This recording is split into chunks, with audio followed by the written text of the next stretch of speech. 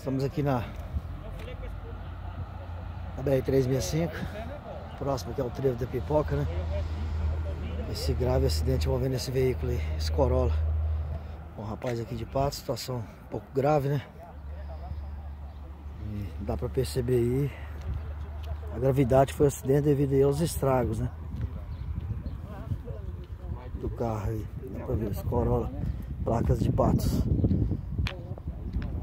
Informação que ele atravessou todo esse canteiro aqui, veio parar aqui. SAMU teve aqui dando todo o apoio, né? Aí pro motorista estava sozinho no carro. Dá pra perceber como é que foram, né? Os estragos. Danificou bastante o veículo aqui do desse negócio aí. Tem peça para todo lado, né, do carro. Pela situação ele ia na, na principal, né? Perdeu o controle e acabou atravessando todo esse, esse canteiro aí, ó, aqui até parar nesse local. Aqui, polícia federal tá aqui, a polícia militar também dando apoio. E pedaço de carro para todo lado.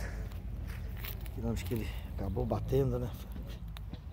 Ia capotar.